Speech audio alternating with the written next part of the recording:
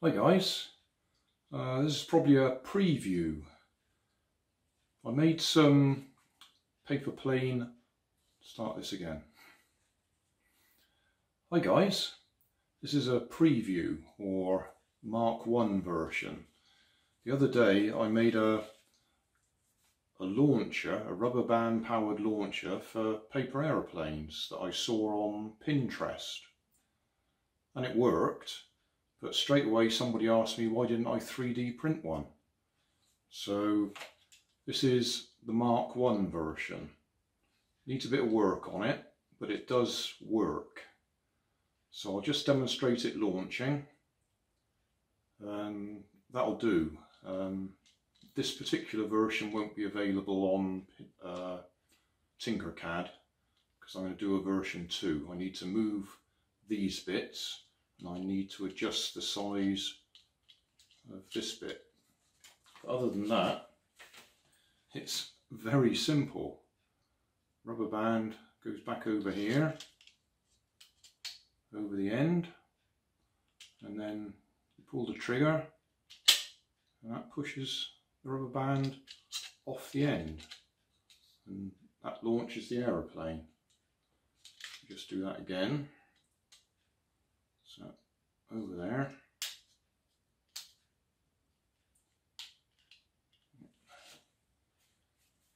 Just put that one on there.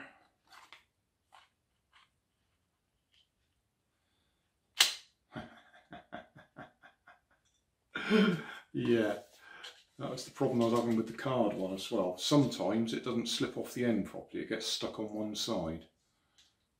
So I do need to round these edges off to make sure it comes off properly. And as I said, change the size of this. But we'll do that again. See if we can get it to come off cleanly. Yeah, that worked. What surprised me was I deliberately made this one the other day quite thin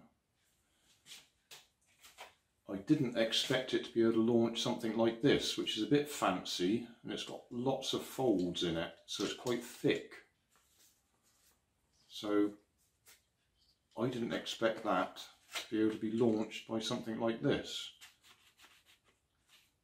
It's not a tight fit, but it's not a loose fit.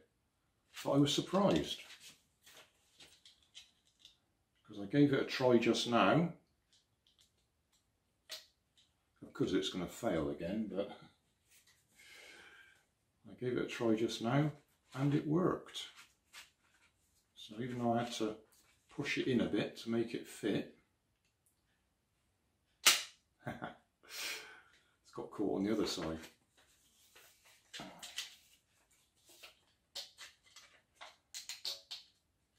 That is one of the wonders of 3D printing. You can just keep making changes until it works the way you want it to. Right, I'll try that again. Make sure that's back there. Yeah, that worked.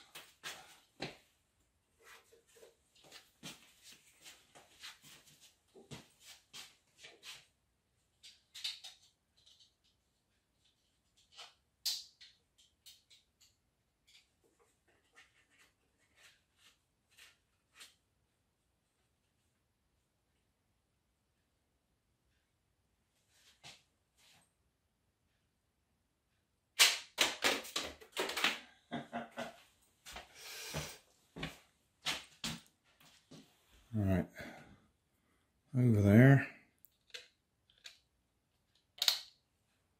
over there. So, so this one's a little bit thick, but it does go in.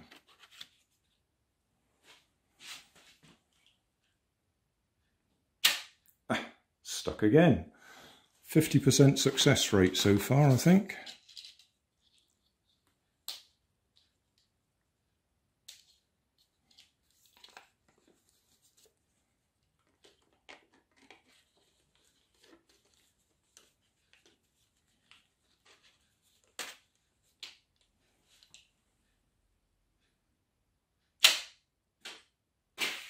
Yeah. So yeah, need to do a bit of work on this. So there'll be at least version 2 with that trigger or hammer actually, like on a gun, but the trigger there needs to be trimmed a bit. And we need to smooth the corners there so it slides off better. Other than that, it can't be much simpler than that. Just a slot along there and a slot where my thumb is inside there and a peg to go through to hold it all together.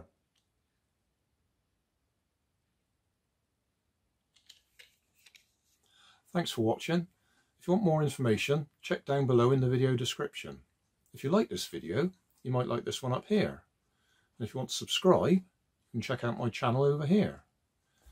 Up here is my latest video on my channel, and down here is a video playlist associated with the video you've just watched. Thanks again for watching.